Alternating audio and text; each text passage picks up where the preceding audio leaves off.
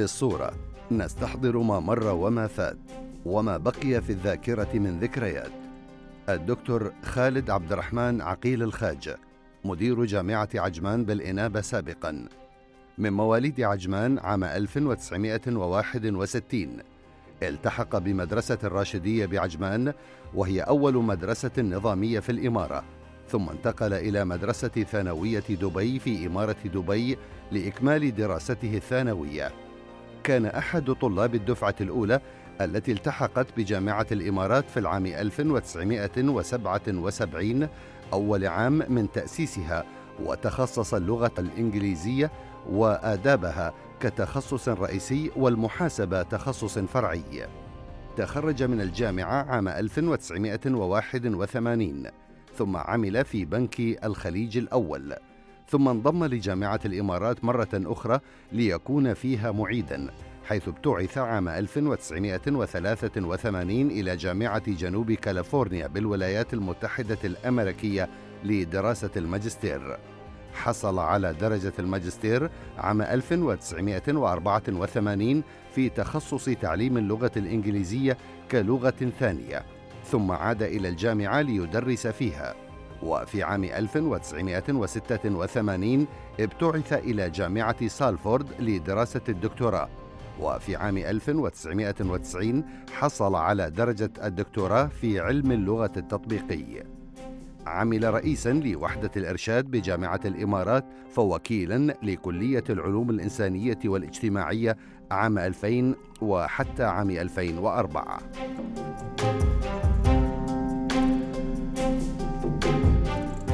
الصورة في الحقيقة هي تلك اللحظة الخاطفة التي تتوقف عند كبسة زر وتجعل من ذلك الموقف قصة خالدة.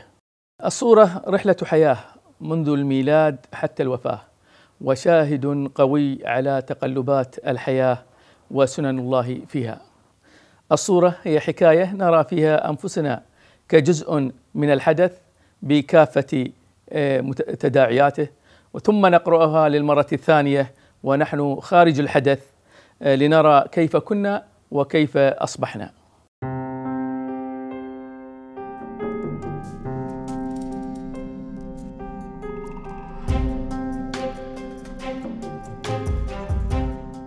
أهم صورة في حياتي التي أود أن أبتدي فيها هي صورة عن مقالة تكلمت فيها عن الوالدة المرحومة كان في ذكرى وفاتها من صمتك تعلمت. هذه الصورة عزيزة علي لأنها تذكرني بوالدتي معلمتي الأولى ومربيتي التي منها تعلمت الكثير ومنها تعلمت القيم والمبادئ والأخلاق التي الحمد لله أعتز أنني متمسك بها. الصورة الثانية هي مع إخواني طارق وعدنان وهذه تذكرني بالطفولة وكيف كنا نعيش ونحن أطفال وكنا نتشاجر مع بعض وتغيرت الحياة عندما وصلنا إلى مرحلة عمرية حالية. والصورة الثالثة هي عن وثيقة سفر لجدي رحمه الله. كان عزم إلى السفر إلى الحج وطلب من المندوب البريطاني بإعطاء تصريح للسفر. وأحتفظ بهذه لأنها تذكر بين الماضي والحاضر كيف كانت الحياة في الماضي؟ فكانت هذه الوثيقة صدرت عام 1934 وكان الحاج عندما يرغب للسفر إلى الحج يطلع من من الإمارات بعد عيد الفطر مباشرة وتأخذ الرحلة تقريبا بين ثلاث إلى أربع شهور. يسافر فيها في مركب إلى الهند ومن ثم في مركب آخر إلى جدة وبعد ذلك يمتطي الجمل ليصل إلى مكة. ذهابا وايابا تأخذ الرحلة تقريبا ثلاثة إلى أربع شهور وهذه تبين كيف كانت الحياة في الماضي وكيف الآن. الصورة التي تليها وهي مع زوجتي وأبنائي في رحلة إلى بريطانيا في عندما كانوا أطفال أبنائنا أطفال. صورة أخرى وهي الوالد مع سمو الشيخ عمار ولي عهد عجمان آه هذه الصورة أحتفظ فيها لأنهم في الدكان الذي عملت فيه مع الوالد وأحتفظ فيها لأن أتذكر كيف كنت تعلمت من هذا من هذا الدكان كيفية التعامل مع الناس وتعلمت لغات أخرى كالأردو والفارسية من الزبائن والمراجعين وتعلمت في الصبر. كنا نعطي نبيع بالدين وهذه الصورة تكشف إن المحل فاضي ما في شيء ما في بضاعة وإنما الوالد يوميا يروح لهذا المكان لأن يتذكر فيه الماضي. ولذلك أنا أحتفظ بهذه الصورة لكي تذكرني بالماضي وماذا تعلمت من هذا المكان. هذه صورة وأنا كنت في سن الثانية عشر. هذه مجموعة صور مع أبنائي مع أطفالي حمدة وعلي عندما كانوا أطفال. أيضا هذه صور, صور أخرى معهم وهم عندما تمر السنين وآخذ معهم صور لتذكرني بطفولتهم.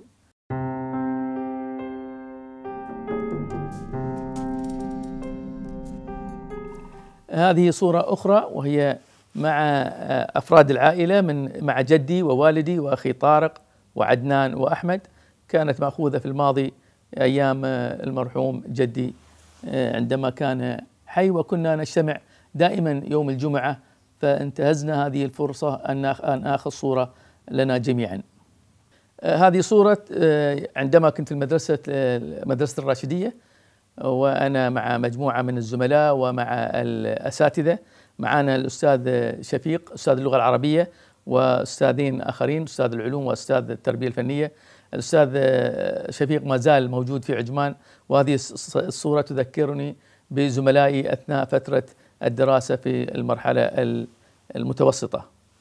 هذه صورة ثانية عندما كنت في المدرسة أيضا في المرحلة الابتدائية. وأنا في مع مجموعة الموسيقى كنا نغني وننشد في المدرسة وكنت آه، أنضم للفرقة الموسيقية وفرقه التمثيل في تلك الفترة.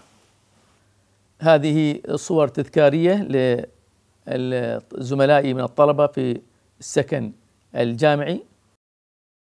هذه أيضا مع بعض الزملاء في القاعة الدراسية مع الأستاذ الدكتور محمود شكري مصطفى أستاذ الأدب الله يرحمه وهؤلاء معي مجموعة من الزملاء في تلك المرحلة. هذه الصورة نحن كنا فيها في رحلة إلى بريطانيا وأنا في مدرسة خيول. بعثتنا الجامعة في تلك الفترة لدراسة اللغة الإنجليزية آه، عندما كنا في السنة الأولى. وفي تلك الفترة أيضا آه، المدرسة التي تعلم فيها كانت تأخذنا إلى رحلات ترفيهية ومنها هذه الصورة على ظهر الخيل. آه هذه صورة معنا عندما في سنة 77 آه الملك ملكة بريطانيا الملكة إليزابيث زاد زارت الإمارات وزارت جامعة الإمارات وأنا هنا مع زملائي في القاعة الدراسية والملكة إليزابيث كانت آه، برفقة صاحب السمو الشيخ زايد بن سلطان آل نهيان رحمه الله. وهذه الصورة تدل على اهتمام آه، القادة بالطلبة وبالعلم وبالتعليم. وهذا ما السبب الذي جعل الشيخ زايد الله يرحمه أن يصطحب الملكة للجامعة ويأتي بها إلى القاعة. ونحن في تخصص اللغة الإنجليزية في محاضرة الأدب الإنجليزي. هذه رحلة الصور مجموعة صور أخرى. وأثناء زيارة قيامنا برحلة دراسة اللغة في بريطانيا على حساب الجامعة. أيضا في السنة الأولى من الجامعة مجموعة طلبة اللغة الإنجليزية وطلبة كلية العلوم.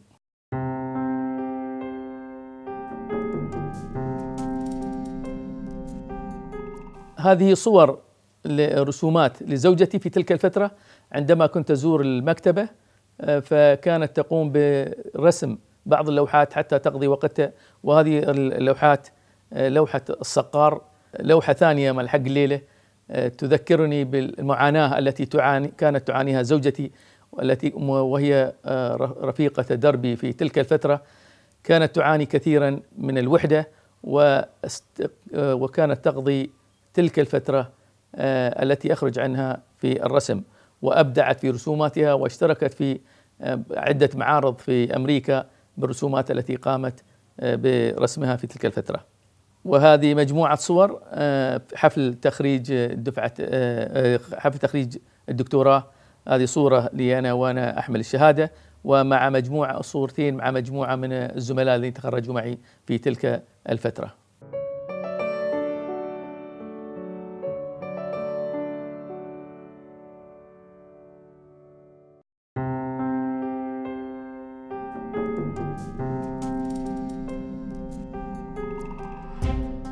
تميز الدكتور خالد الخاجة أثناء عمله بجامعة الإمارات وجامعة عجمان بقدرته على خلق بيئة تعليمية مشجعة للطلبة والأساتذة بالإضافة إلى ذلك التميز الأكاديمي والإداري. في بداية 2017 ترك جامعة عجمان ليتابع أعماله الخاصة وتولى مهام الرئيس التنفيذي لمجموعة شركات برين والتي تضم مؤسسة برين للاستشارات والتدريب ومؤسسة برين للنشر والتوزيع وشركة برين للاستثمار والتعليم. له الكثير من المقالات الصحفية والمشاركات الإعلامية في القضايا الفكرية والسياسية والمجتمعية إماراتيا وعربيا وكاتب مقال بجريدة البيان. له أيضا العديد من الأبحاث والدراسات في مجالات التعليم وقدم العديد من الدورات والاستشارات وشارك كمقيم في برنامج دبي للأداء الحكومي المتميز كما شارك في عدد من المؤتمرات المحلية والعالمية وهو عضو مجلس أمناء جائزة راشد بن حميد للثقافة والعلوم وعضو في جائزة الصحافة العربية.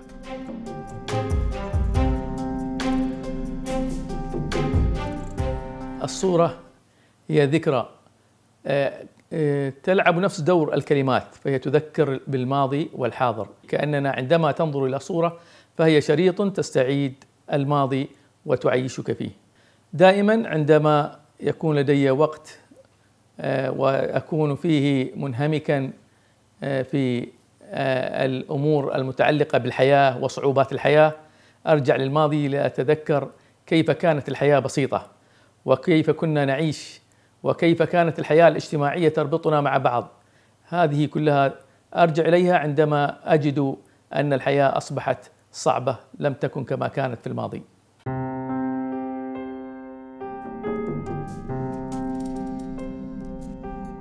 آه، هذه الصورة وهي صورة مع صاحب السمو الشيخ حميد بن راشد النعيمي عضو المجلس الأعلى حاكم إمارة عجمان رئيس مجلس أمناء الجامعة في إحدى زيارتي له مع مجموعة من الطلبة عندما حصلوا على جائزة محمد بن راشد في الإبداع والتميز فقمنا بزيارة إلى صاحب السمو للسلام عليه واستقباله لهؤلاء الطلبة وهذا دليل على اهتمام حكامنا بالطلبة وبالعلم والعلماء.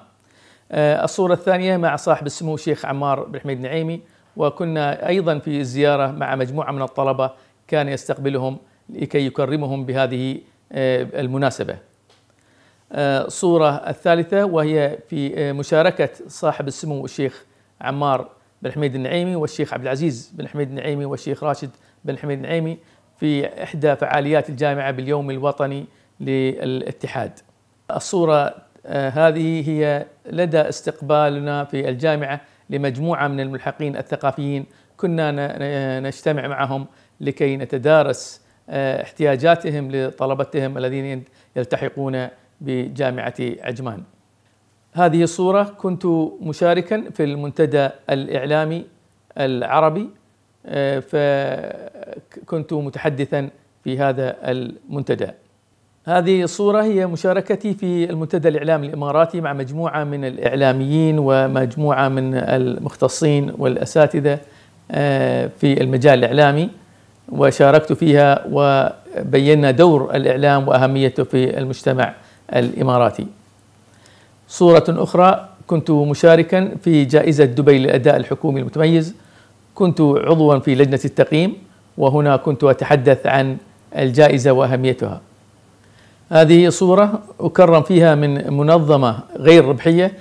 في كل عام تكرم القياديين التربويين وكنت أحد الذين كرمت في تلك الفترة وحصلت على التميز في الإداري والأكاديمي التربوي. وكانت بالنسبة لي مفاجأة حيث لم أكن لم تكن في الحسبان آه، بأن أستضاف من قبل هذه المنظمة لكي يتم تكريمي فيها. هذه صورة مع زميلي آه، الدكتور سيد عباس وكنا في رحلة أكاديمية في مؤتمر إلى ماليزيا نشارك في مؤتمر تصنيف الجامعات. هذه صورة مع الدكتور آه، أستاذ الدكتور صلاح والدكتور آه، من عميدة كلية الإعلام في جامعة عين شمس. كنا في كنت في زيارة لهذه الجامعة وأطلع على ما هو لديهم في الإعلام وفي بعض التخصصات. هذه صورة جماعية لزملائي أعضاء تدريس. كنا في رحلة اجتماعية بحرية آه، إحدى الليالي مع بعض الإعلاميين الذين يساهمون في تدريب الطلبة. معنا مدير تلفزيون عجمان الأستاذ عمر الأمين وما بعض الصحفيين والأساتذة. كنا رحلة اجتماعية عائلية. هذه صورة مع بعض الأصدقاء. كنا في رحلة إلى آه، سوريا. وتذكرني بأصدقائي وكيف كنا نعيش مع بعض. وهي صورة ليست بقديمة وإنما صار لها خمس سنوات. صورة أخرى مع مجموعة من الأصدقاء أيضا في رحله في رحلة إلى كوريا. آه، لمدة أسبوعين وأيضا كنا آه، نتذكر الماضي عندما كنا في الجامعة وتزاملنا أيضا في هذه الرحلة. هذه صورة مع آه، طالبات الجامعة وأعضاء التدريس في عرض بعض مشاريع التخرج لطالبات كلية الإعلام عندما كنت عميدا لكلية الإعلام في جامعة عجمان. هذه صورة مع مجموعة من الطلبه طلبه نادي المسرح في جامعة عجمان ومعهم الدكتورة شيرين موسى المشرفة على هذه النادي وايام تاديتهم مسرحية في آه، نادي آه، أيام الشارقة المسرحي. آه، فهي صورة تذكارية مع أبناء الطلبة وكيف كانت الفرحة في وجوههم عندما قاموا بتأدية دورهم كممثلين في تلك الفترة.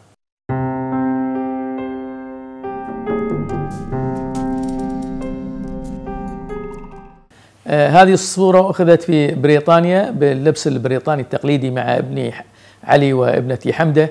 ودائما نتذكر هذه الصورة وأضعها في المكتب آه، أمامي لكي ننظر إليها وهم ينظرون إليها. يتذكروا طفولتهم ودائما كانوا معنا ويقارنون بين الماضي والحاضر عندما يرون أنهم كانوا معنا دائما في جميع رحلاتنا وسفراتنا. عندما أصبح لديهم أصدقاء وخاصة ابني علي هذا فيخرج عادة ويحب الخروج مع أصدقائه لأن تغير السن وتغيرت المواهب وتغيرت الاهتمامات فيتذكرون الطفولة ويقولون يا ريت الطفولة تعود كما كانت لأنهم مرتبطين معنا. آه، حقيقة أنا مع عائلتي مرتبطين بشكل قوي لأن تمت آه، تربيتهم على يد أمهم ومتابعتي لهم فهذا كان له له دور كبير في أن تظل الروابط آه، القوية بيننا. وحتى أبني في بعد ما خلص من الثانوية رغب أن يسافر إلى أمريكا أو بريطانيا لإكمال دراسته. ولكن عندما سافرنا مع عنه لمدة أسبوع ولم يكن معنا فضل البقاء مع صديقه آه، عند عودتنا تراجع عن قراره وقال سوف أستمر هنا لا يمكن أن أبتعد عنكم.